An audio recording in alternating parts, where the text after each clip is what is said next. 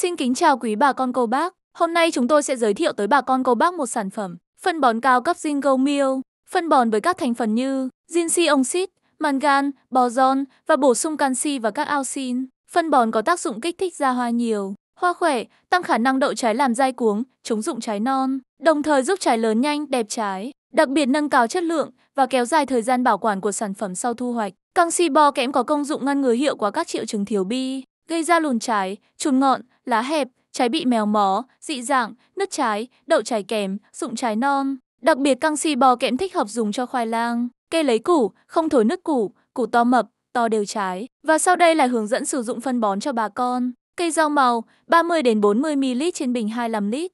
Đối với cây công nghiệp ta pha 250 ml trên một phi 200 lít. Còn đối với các loại cây ăn trái như sầu riêng, chôm chôm, bưởi, cam, chanh, quýt, đợt 1, khi ra lọc non, phân hóa mầm hoa. Đợt 2, phun khi cây đậu trái non, dưỡng trái, 15 đến 20 ngày phun một lần. Trên các loại cây có củ như khoai lang, mì, phun khi cây hình thành củ và khi củ lớn, 20 đến 25 ngày phun một lần.